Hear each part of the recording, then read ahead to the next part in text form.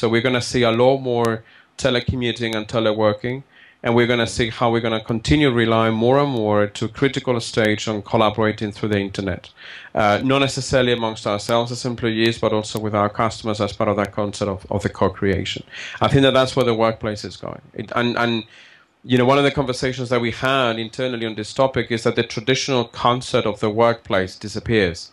Work will happen wherever you are. You may be at the office, you may be working from home, you may be traveling, you may be at a customer site, but work will be happening around you. And that around you requires that you can no longer do the job alone and you rely on other people. And that relying on other people is when you start kicking off collaboration.